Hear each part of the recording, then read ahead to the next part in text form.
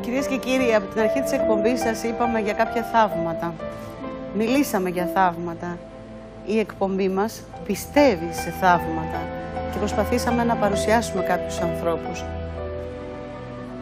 Γνωρίσαμε πριν από αρκετά χρόνια ένα θαυμάσιο παιδί, έναν εξαιρετικό συνάδελφο και καλλιτέχνη, ο οποίος στα χρόνια της πορείας του μοίρασε απλόχερα την αγάπη του σε εσάς όλους τους τηλεθεατές, σας χάρισε χαμόγελα χαράς, αισιοδοξίας, κεφιού, γαλήνης, ηρεμίας, απόλαυσης. Αυτόν τον άνθρωπο τον έχουμε μέσα στην καρδιά μας. Θα τον θυμόμαστε για πάντα, γιατί ήταν ένας και μοναδικός, απολαυστικός και σπουδαίος. Καλό σας βράδυ.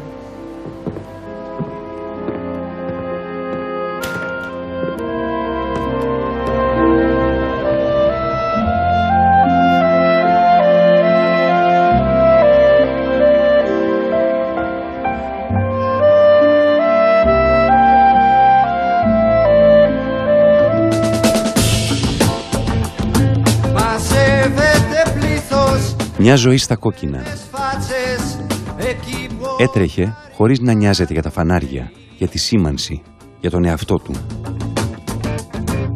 Ήθελε να προλάβει το τραγούδι, τους φίλους του, το θέατρο, την οικογένειά του, την τηλεόραση, τα γλέντια του και μετά, και μετά πάλι από την αρχή. Αυτό το πάλι από την αρχή μια μέρα σταμάτησε. Η γιορτή κόπηκε στη μέση, αλλά για λίγο. Το φροντερό γέλιο δεν χάθηκε. Το ταλέντο δεν κρύφτηκε.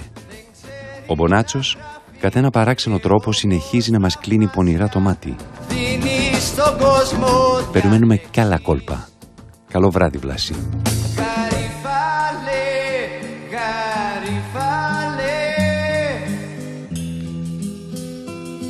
Κανείς μας δεν ξέρει ποιος είναι